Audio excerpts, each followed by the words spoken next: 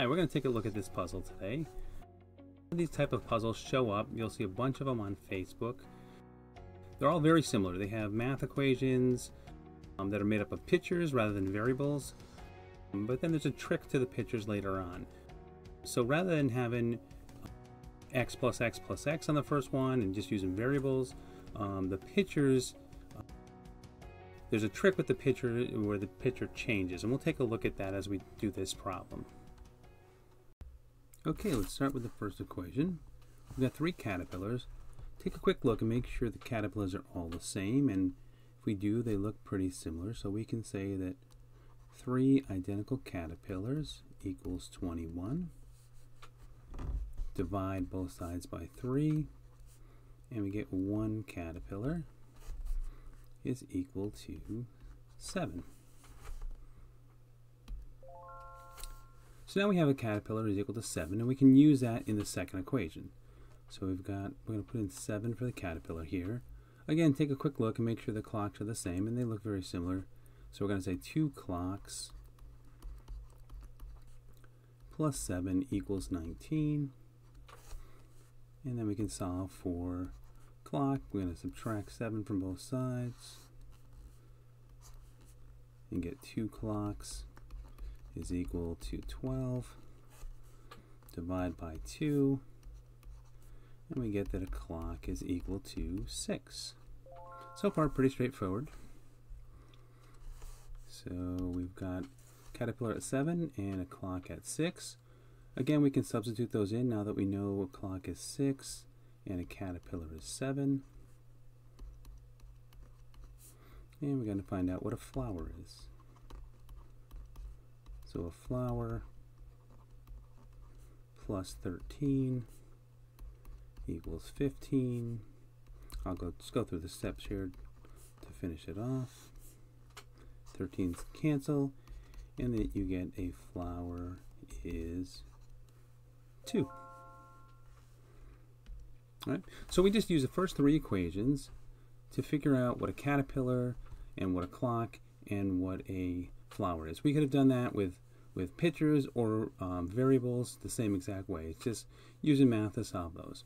Now the last equation is where all the tricks come in. So we're going to take a look at this equation now knowing that a caterpillar, clock, and, and flower are worth those values. Let's take a closer look though. So first thing we notice is this caterpillar has no flower. There's no flower on its head. We then notice that here we don't have one flower, we actually have two flowers.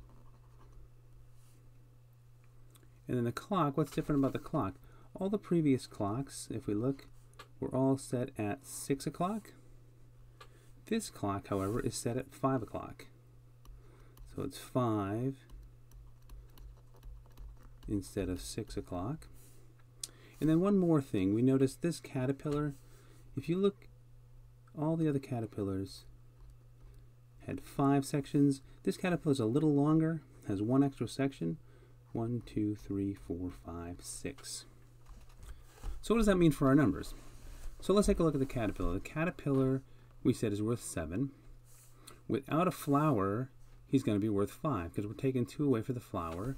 So we've got 5. But that's a regular caterpillar, a regular caterpillar with 5 sections. So if a regular caterpillar with 5 sections is worth 5, a caterpillar with 6 sections should be worth 6. Next part, two flowers. So if one flower is 2, two flowers should be 4. And then if a clock at 6 o'clock equals 6, then it would make sense that a clock at 5 o'clock would equal 5.